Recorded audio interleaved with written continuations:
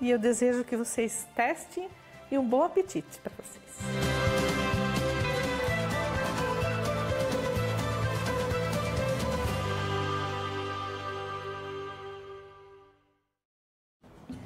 É com essa receita deliciosa que o programa de hoje está chegando ao fim. Tenha dias produtivos de trabalho. A gente se vê. Até mais.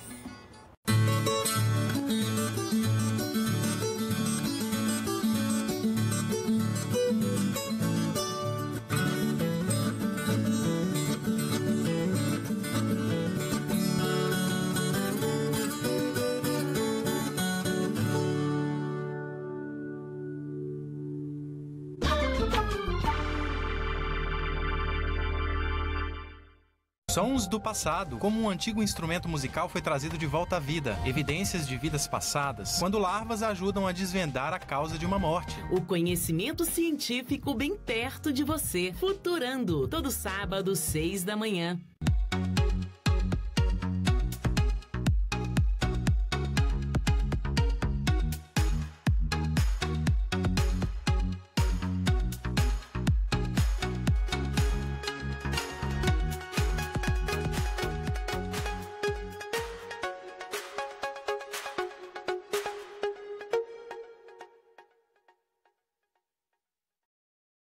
Comunicado. Agora, a TV Brasil 2 passa a se chamar Canal Gov. Um canal inteiramente dedicado a acompanhar o dia a dia do Poder Executivo e as ações do governo federal. No canal Gov temos notícias, entrevistas e transmissões ao vivo, direto do Palácio do Planalto ou de qualquer lugar do Brasil e do mundo. O canal Gov é a ligação direta entre o governo e o cidadão.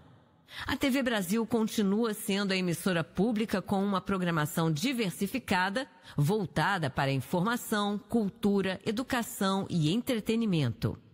A TV Brasil é a televisão pública a serviço da cidadania. Canal Gov.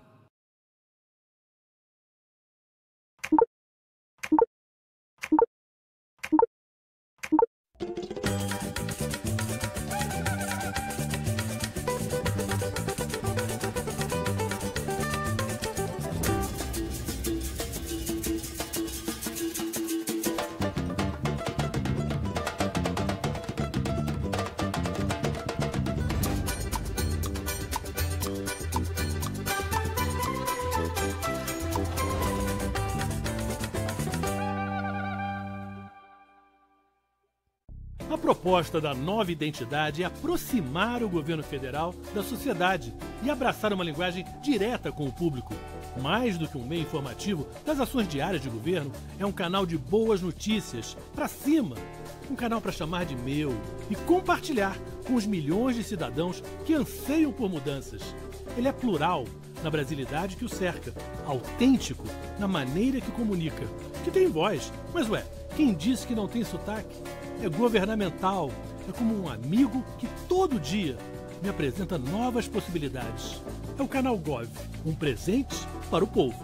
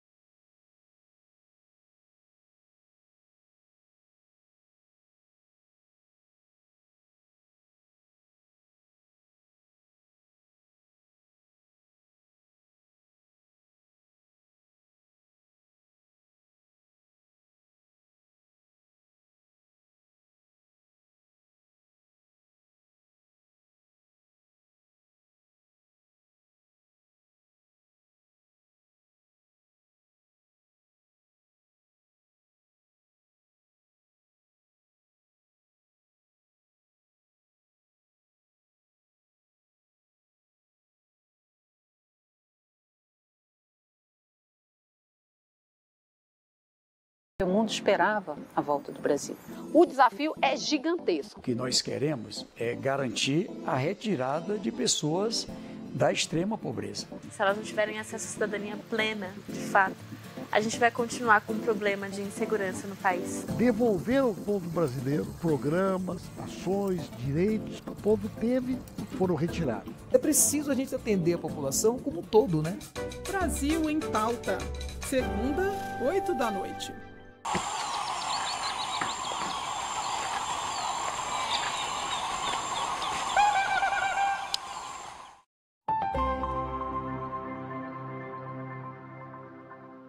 É importante a gente falar com as pessoas que estão em casa, estão no carro, estão trabalhando, estão ouvindo a gente agora e vão ouvir, poder ouvir depois também. Toda terça-feira estarei pronto para discutir o assunto que você entender que deve ser discutido. Nós já sabemos, sabe, o que fazer daqui para frente.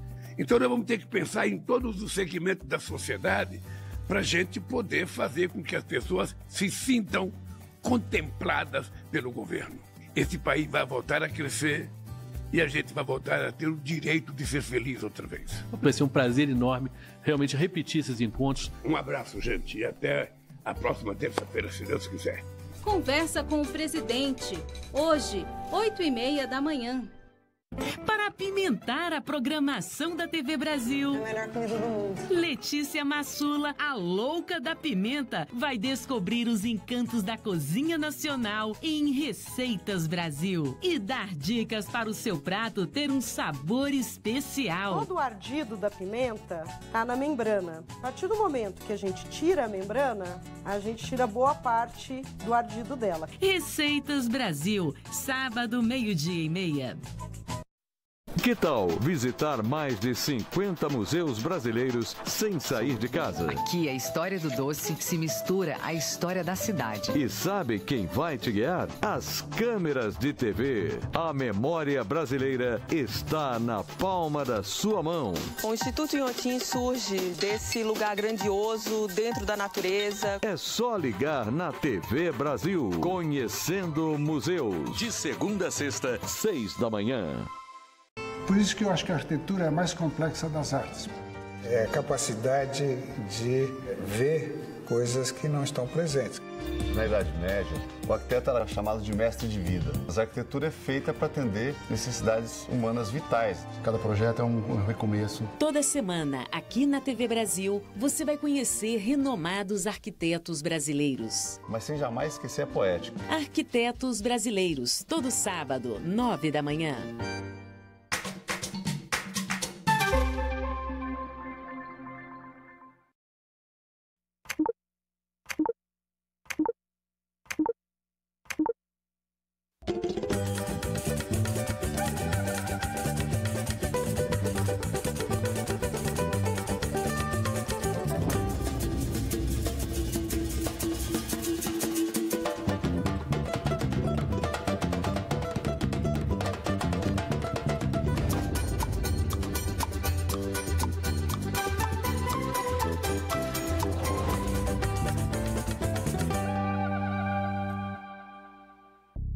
Proposta da nova identidade é aproximar o governo federal da sociedade e abraçar uma linguagem direta com o público.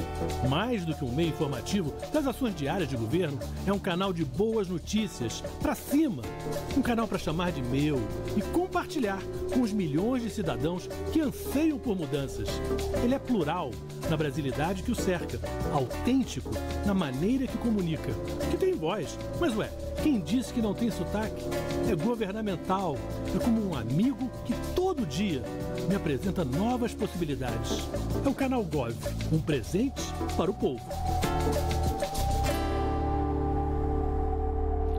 Olá, bom dia! Terça-feira, 25 de julho de 2023, são 8 e 6 da manhã. Nós estamos ao vivo também nas redes sociais e acabou de entrar no ar o canal Gov. Mas o que é o canal Gov? O que, que ele tem de novo?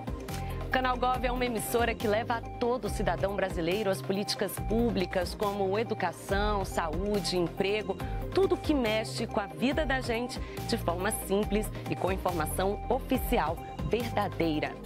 E uma das novidades é que essas notícias vão estar na nossa programação durante todo o dia, em forma de programas, boletins, entrevistas e muitas entradas ao vivo.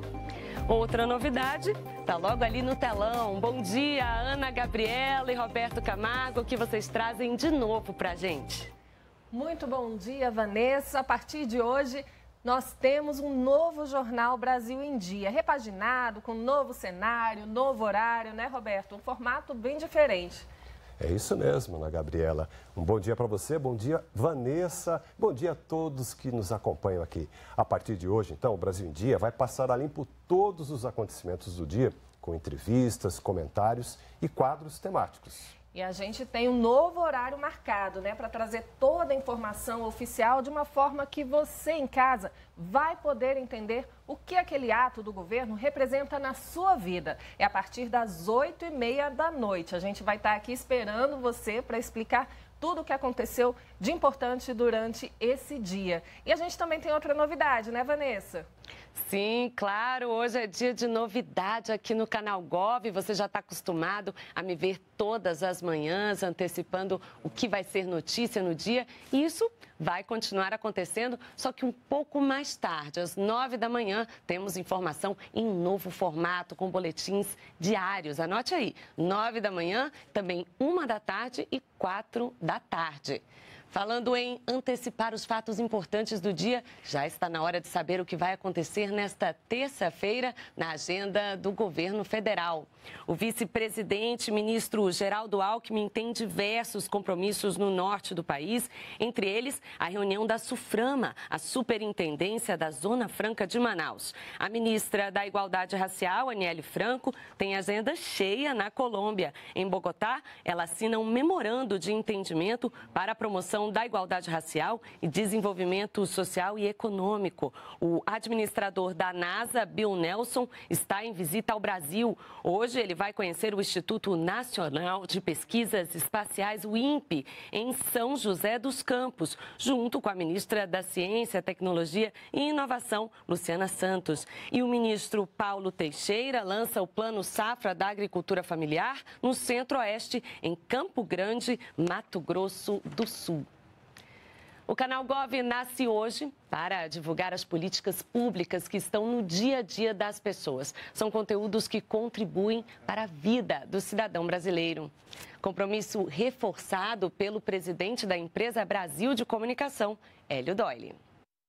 O cidadão brasileiro tem o direito de saber o que, que o governo está fazendo, quais são as políticas de governo, quais são as ações e, principalmente, ele tem que entender como é que ele pode ter acesso aos direitos que ele tem, às políticas públicas, ao Minha Casa Minha Vida, ao Bolsa Família. E esse é um papel importante que a IBC tem. E a inauguração do canal Gov é um passo fundamental para essa missão da EBC. E a gente segue com mais informação. Agora vamos conversar ao vivo com a repórter Jéssica Gonçalves, que está no Palácio do Planalto e conta para a gente como está a agenda hoje do Executivo. Bom dia, Jéssica. Bom dia, Vanessa. Um excelente dia a todos. Olha, o primeiro compromisso do presidente Lula hoje é daqui a pouquinho, às oito e meia da manhã. O programa Conversa com o Presidente lá no Palácio da Alvorada. Ele vai falar aí um pouco sobre as últimas ações do governo. Lembrando que o programa é transmitido ao vivo pelo canal Gov. Bom, agora sobre a agenda fechada do presidente, às onze e meia da manhã, ele se reúne aqui no Palácio do Planalto com o ministro dos Direitos Humanos, Silvio Almeida. À tarde, ele tem uma reunião com o ministro da Defesa, José Múcio, e os comandantes da Marinha, da, Aeronáutica e do Exército. E depois, ele tem uma reunião com o ministro da Secretaria de Relações Institucionais, Alexandre Padilha. E olha só, Vanessa, hoje à tarde, o ministro do Trabalho e Emprego, Luiz Marinho, participa da reativação da unidade móvel do trabalhador aqui em Brasília durante o evento Capital Moto Week. Na unidade serão oferecidas orientações sobre emissão de carteira de trabalho digital, por exemplo, seguro-desemprego, abono salarial e denúncias de irregularidades trabalhistas. É isso, Vanessa. Volto com você aí no estúdio.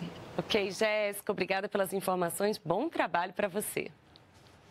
O assunto agora é Copa Feminina de Futebol. A gente segue na torcida pelas meninas que já faturaram o primeiro jogo por 4 a 0 contra o Panamá.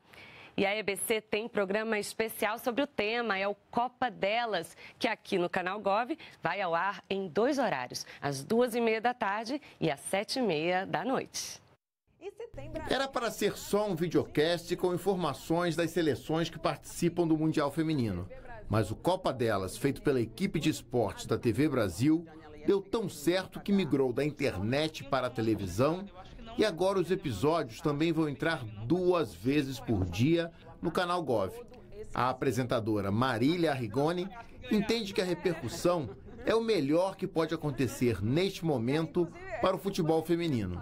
A gente viu essa necessidade de falar de futebol feminino, dar espaço a comentaristas mulheres, também jornalistas mulheres, para participarem uh, desse, desse produto. E aí surgiu então o Copa Delas para falar sobre exclusivamente das 32 seleções que fazem parte deste Mundial da Austrália e da Nova Zelândia. Então a gente publicou os oito episódios uh, nas plataformas de áudio e também de vídeo nas redes sociais da EBC.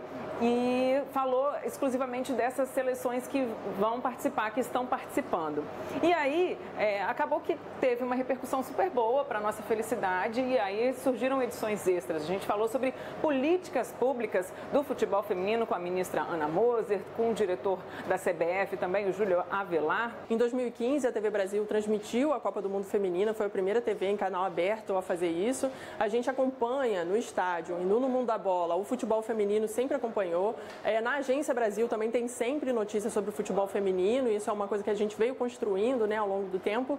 É, então, o Copa Delas se soma a essa preocupação que a equipe de esporte da EBC tem de cobrir o futebol feminino e dar o devido valor ao futebol feminino. É, e numa outra parceria, o canal Gov vai exibir o mini doc Justiça no Digital. A produção reúne uma série de histórias sobre os impactos da falta de um ambiente seguro na internet, com depoimentos de vítimas de notícias falsas.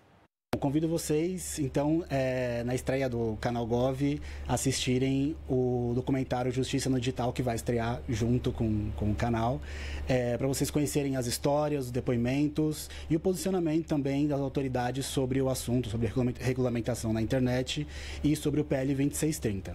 Esse Justiça no Digital ele veio para completar essa série que a gente estava fazendo sobre esses últimos acontecimentos, é, mas tem muita coisa ainda vindo. A gente vai trabalhar diversos temas nesses mini e a ideia é que a cada dois meses ali a gente tenha um, então é para a gente maior satisfação poder fazer essa parceria e construir essas narrativas e essas histórias e apresentar para todos vocês.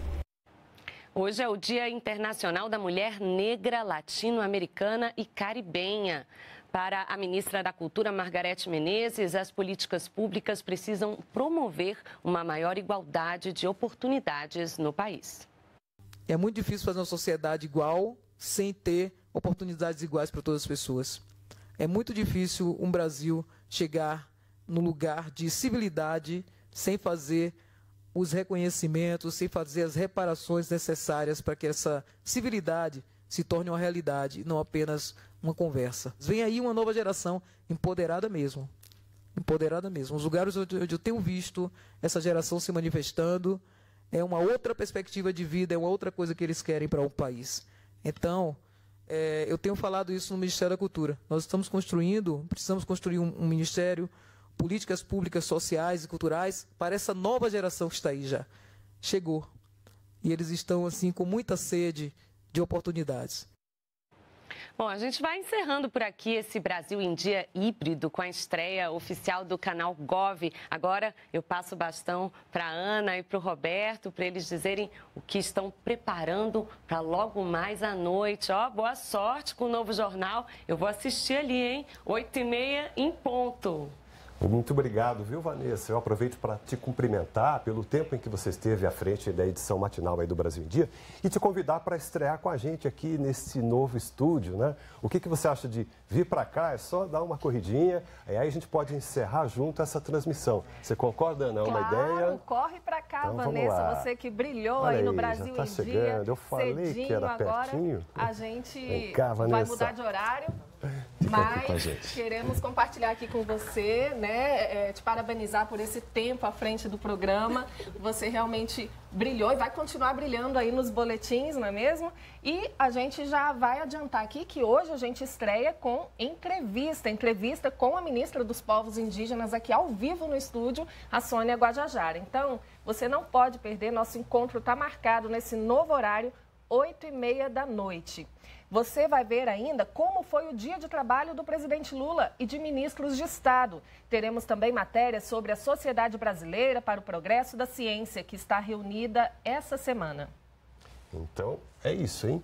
A gente, eu convido você a colocar a mão aqui, junto, nós três, para selar esse momento né, de transição, tá bem? E viva o novo canal Gov. Isso, e com essas informações nós encerramos aqui então essa transmissão especial do Brasil em Dia. Acompanhe as nossas redes sociais, nos encontramos novamente hoje às oito e meia da noite. Até lá! Tchau, tchau. Tchauzinho.